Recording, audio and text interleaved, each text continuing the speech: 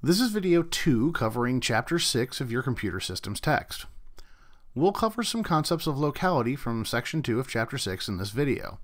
We'll just go over some definitions and then look at some code samples to take a look at locality in action. The principle of locality states that programs tend to use data and instructions with addresses near or equal to those they've used recently.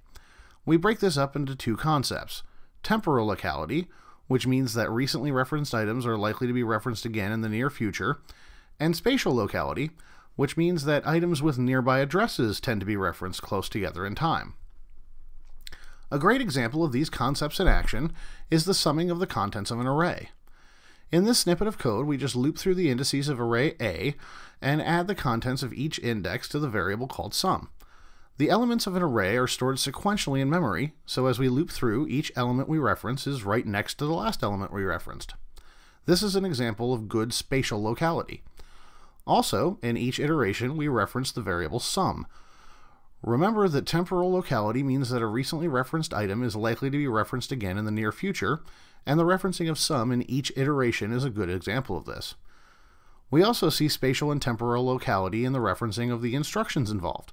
Since we're looping, we reference the instructions involved in sequence, and each instruction used is referenced repeatedly as we loop. Now, let's take a moment to talk about how C allocates memories for arrays and what stride 1 reference pattern mentioned in the last slide means. When you declare an array, the memory is allocated in order of index. So if you declare an array of type int with a size of 3, the array will be stored in memory as 3 ints in a row the first for index 0, the second for index 1, the third for index 2. Let's also look at declaring a multi-dimensional array. If we declare a two-dimensional array, we will find that the elements will be stored in this way.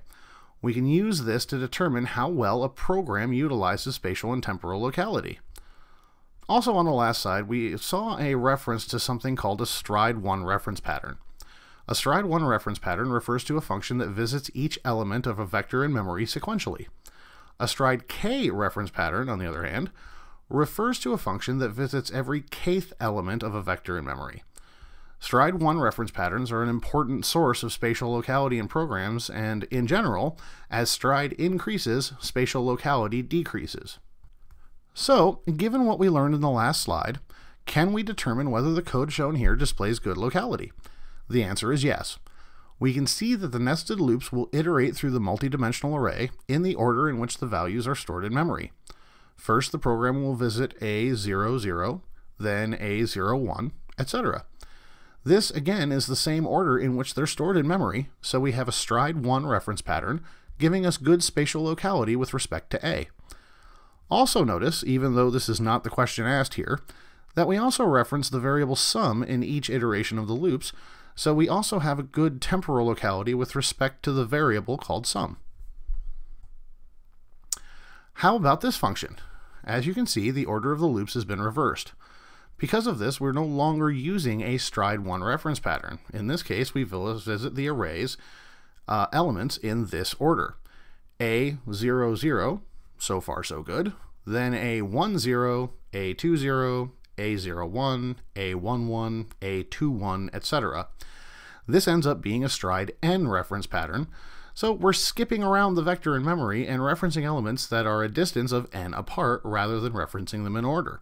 This does not give us a good spatial locality with respect to A like the function in the last slide did. Now for a little exercise. Take a look at this function think about how you would permute the loop so that the function scans the 3D array with a stride 1 reference pattern.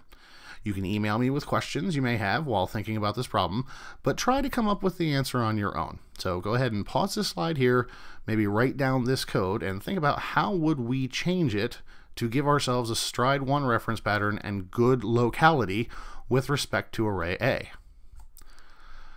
So let's recap a few things from uh, this video and the last.